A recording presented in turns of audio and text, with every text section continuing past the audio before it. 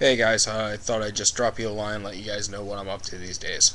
Um, as you can see, we're doing it real informal right now. Working on a couple different games. Um, Blood and Leather is off being previewed by another company for possible um, optioning. Uh, DexCon's coming up. I'm planning on showing off uh, Rampaging Titans and Dragon Chess, along with uh, a whole assortment of games by Bucephalus Games.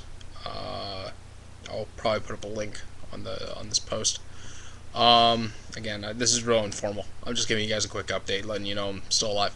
Um, I've got a lot of stuff still on the workbench. Uh, Oxen is still on the workbench. It's just not getting to right now.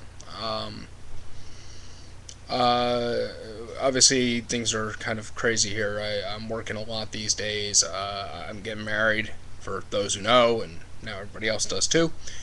Um, and also, you know, working on you know, work, marriage, and oh yeah, buying a house. Yeah, I keep forgetting about that. I told you, I'm working on like, you know, no brain cells here. I'm so exhausted.